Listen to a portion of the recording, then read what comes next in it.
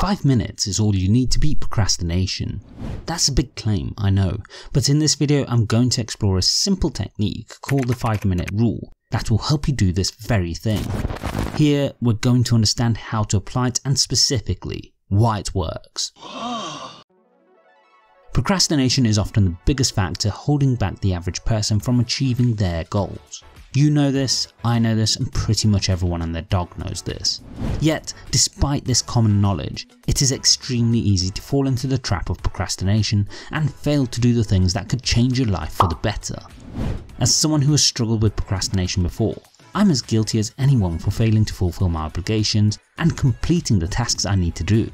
But I can equally say that with the use of this technique, I've made significant progress in improving this. One such example is when I create content for this channel. It's hard to create videos and it can be time consuming, so motivation doesn't always come easily.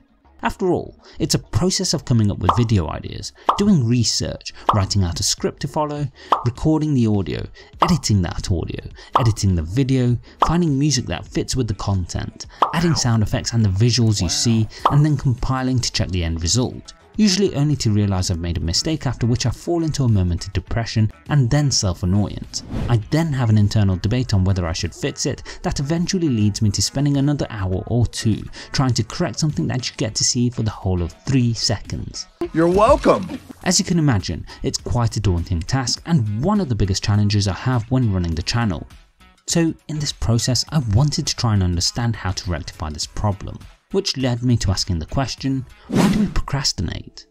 It was in researching why we procrastinate that I came to see that procrastination is a problem for most people and stems from the fact that our natural response in life is to do what's safe or easy.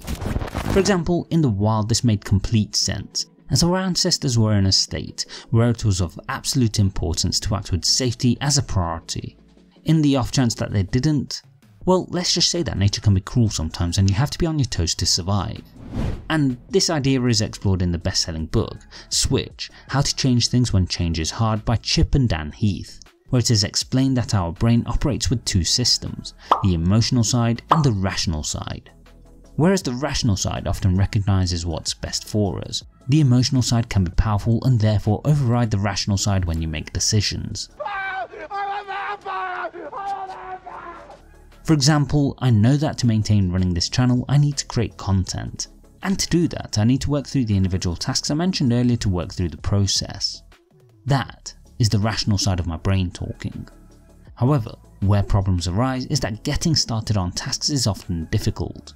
This is because my emotional response to the task is that it will be challenging. I know this both because I understand the scope of creating the video, but equally have the experience to know how much work is involved in creating content.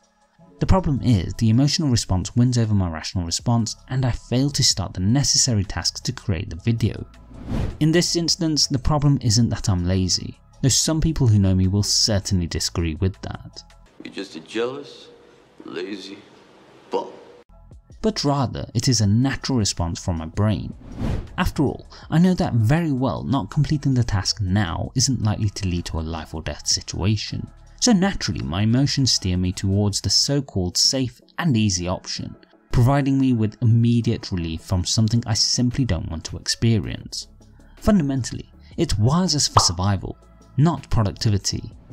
Let's go back to our previous example in the wild. If you see the path you're on diverges in two directions further ahead, when you come to choose which path to follow, you'll instinctively choose the safer looking path. It's simply how the brain is wired, to choose the path of least resistance and threat in order to survive. The problem is our rational side recognises that not dealing with the task at hand now can lead us to further problems later down the line. For example, I know if I don't do the tasks I've set out for myself, work will pile up or I'll feel depressed at my lack of productivity, sometimes even both. However, the emotional side can often be overpowering in making the choice to take action, meaning I choose not to take action even though I know full well it is the best thing to do. And it's here we look to apply the 5 minute rule.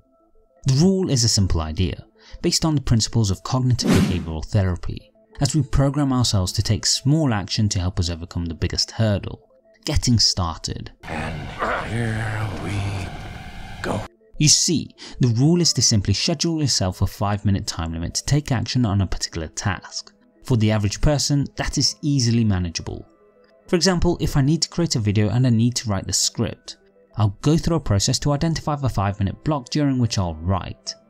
This is much more appealing than the hours I know it will actually take to complete the script. This comes down to me applying a simple hack on my brain to ease me into the process and prevent my emotional side from having reasons to stop me.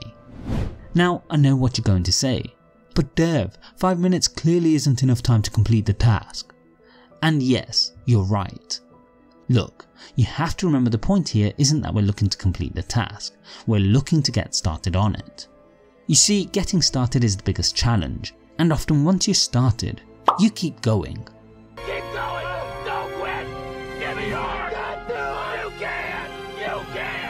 This comes from the principle that just as our brain is a pain when it comes to creating barriers to productivity, it is equally powerful in keeping it going once we start. That is because through the process we tend to see the release of dopamine, giving us positive sensations that help us keep going to get that same feeling again. This means in most instances, we might put in 5 minutes to do a task, but we're happy to keep going even after the timer stops. Like when I create a video, as mentioned before I know full well that in 5 minutes I won't get a huge amount done when writing a script. However, I've made the start and I've made some progress and that's usually enough to keep me going and continuing progress. In fact, it's exactly what I'm doing while working on this. I was actually meant to stop half an hour ago. So now that we understand what the rule is and why it works, let's look at how to apply it. The first thing you must absolutely do is have a clear and specific task to do during the 5 minutes. For example, going back to what I said earlier, in my case this might be to write the script for some content.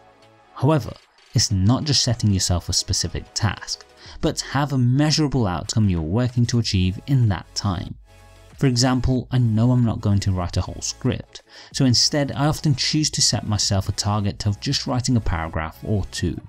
Here is where the magic occurs, because now when you complete your target in the 5 minutes and can see tangible results and progress in your work, the dopaminergic effect discussed earlier kicks in, and you will feel a sense of renewed motivation to move on to the next 5 minutes and the next target.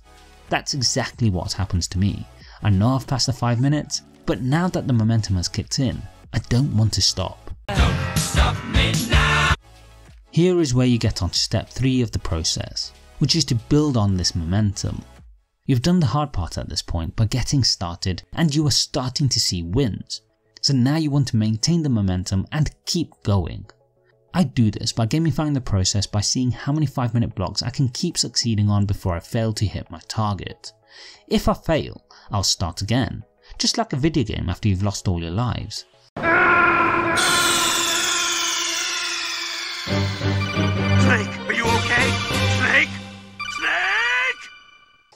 Sure it's mildly frustrating, but your focus is on enjoying the process and continuing progress.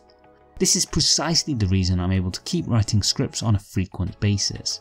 After all, the process can be a challenge, but that doesn't mean I can't enjoy it. And the truth is the 5 minute rule is simple, but valuable in helping you tackle something challenging that you may not otherwise have the motivation to do. For me, it has worked wonders and continues to be a valuable technique to do things that otherwise I may struggle to complete so be sure to give it a try and see how it works for you and let me know what you find down in the comments. If you want further tips on being productive, be sure to check out the video on screen now. Thanks for watching.